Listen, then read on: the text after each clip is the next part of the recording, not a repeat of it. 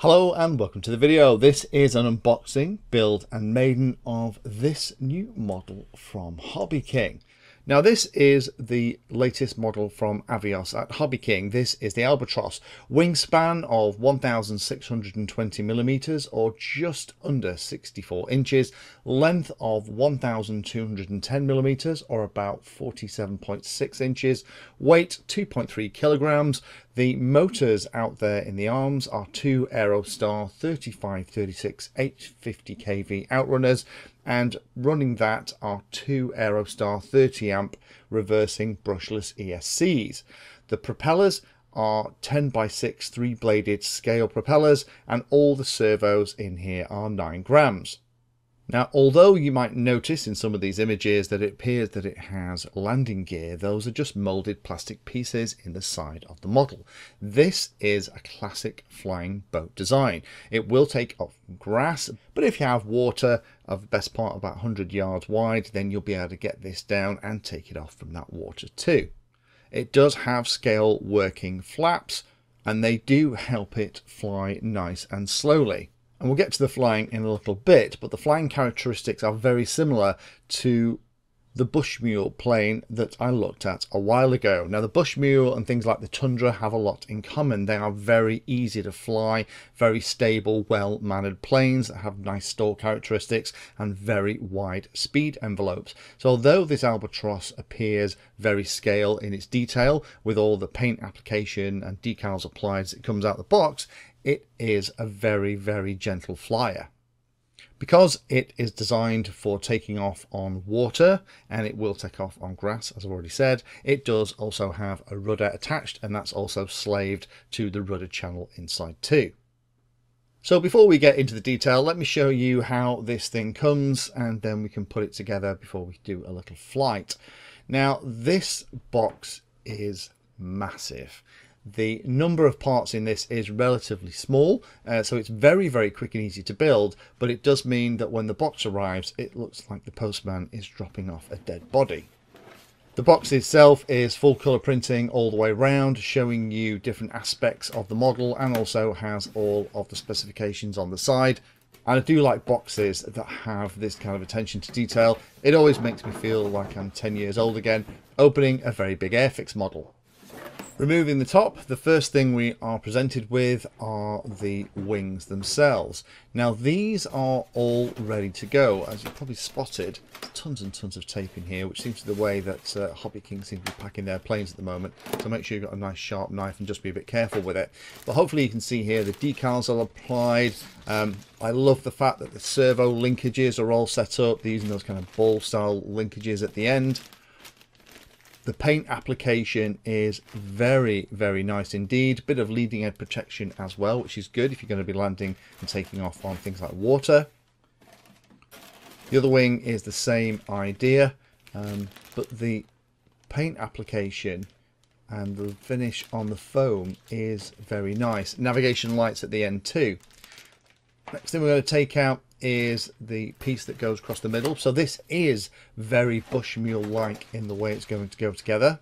Now this central section has the two nacelles that has the ESCs and the motors in and is going to be held onto top of the body just with two metal machine screws. This has those plastic cowlings at the front and again it has the flaps along with a big cord with all the connections but it's got some nice scale detail on the inboard flaps too. Vertical stabilizer is absolutely massive but again the servo is there. A little pin at the bottom that's going to go into the uh, the back of the model itself and be held in place with a little screw too. We have the two floats that go under the wings. Again all nicely painted held in place with a couple of screws. Nice to see that that's the case because that's going to get a little bit of potentially damage in landings. We have the horizontal stabilizer for the rear and that's actually run by two servos. We'll put them together in a minute. We're going to get one set of the scale props and then that's everything out the box, apart from a little bag of bits. Now let's get the main event out, which is going to be the body. I've got the camera mounted on its highest position here to try and fill everything in. So let me take the body out of the plastic and we can have a first look. So that whole front piece where the cockpit is is removable um, and we have a big plastic skid at the front that's going to be there to help it skid over grass or water. Uh, the landing gear doesn't come down, that's just moulded in. This is where the wing is going to go over the top. Uh, lots and lots of room in here for batteries and everything else. We have the moulded hatches at the back, all the panel lines are very nice. We can see that tail a little bit clearer here, the little rudder that uh, is going to help with control when it is actually moving around in water. We have a navigation light dorsally as well. And the way it looks with the paint application and decals is very, very pretty indeed. So next thing to do then is going to be put this together. The build is very, very quick. Just make sure you've got lots of room because as soon as you start putting the ends on the wings, then it starts to get a very big model indeed. Now you're going to have to glue the tail piece into place.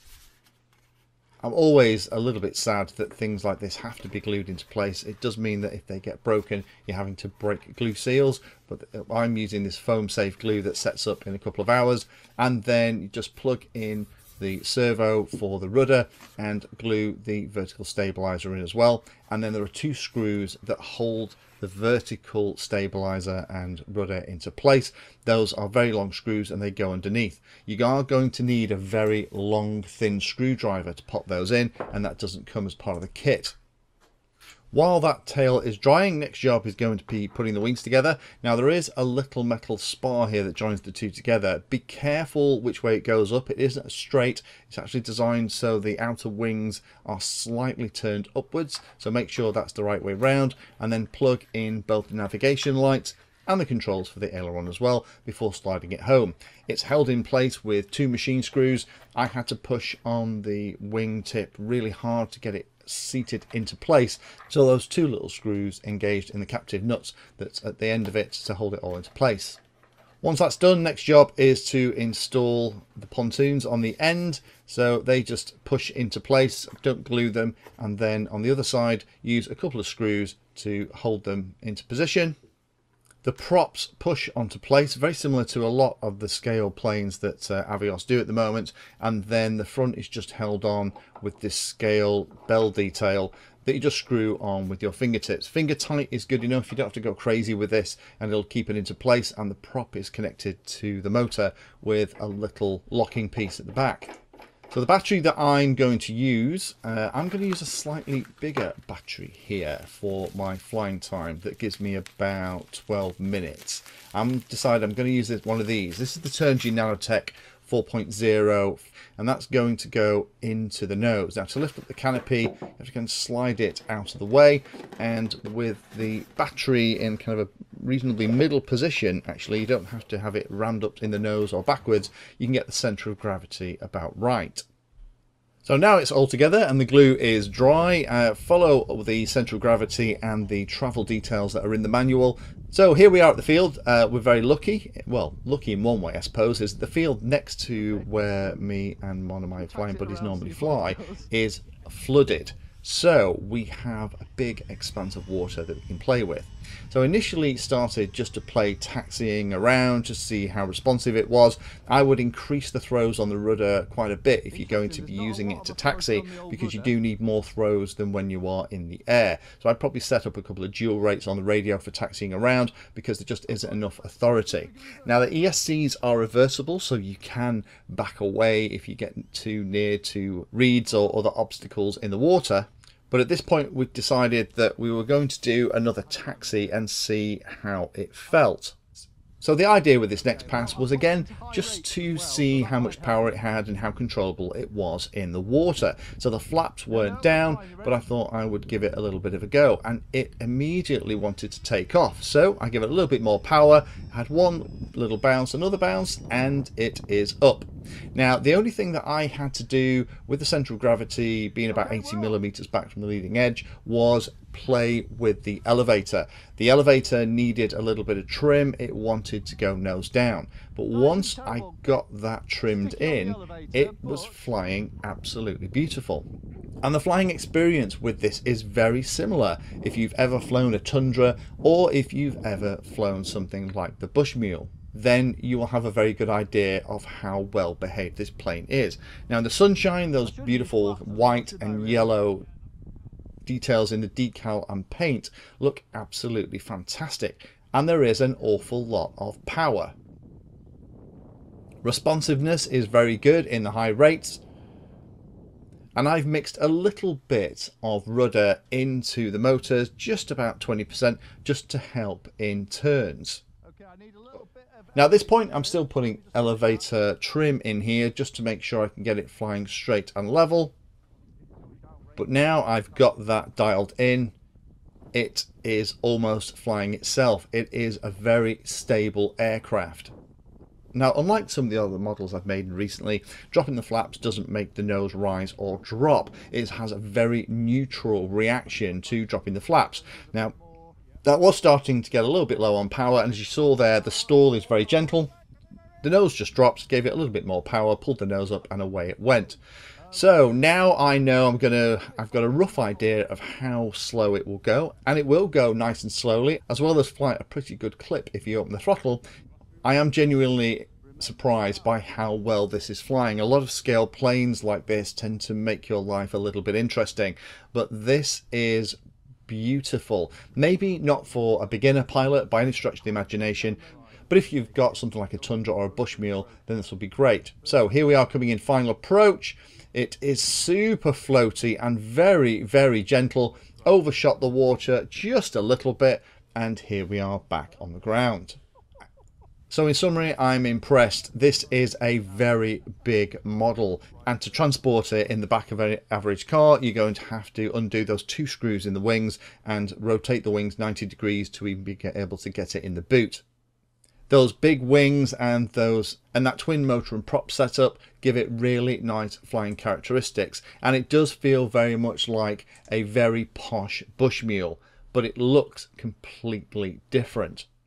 So if you have access to water and you've been looking for something that you can take off and land on water that's easy to fly and that looks absolutely and that looks the part then this new albatross is definitely worth a look Thanks for watching the video and watching right to the very end. You can find me in all the usual places on social media and if you like the video and like what I'm doing here then hit the subscribe button and hit the bell notification icon too. If you really like what I'm doing you can go the extra mile and become one of my Patreons for access to me directly for support and also giveaways and regular updates too.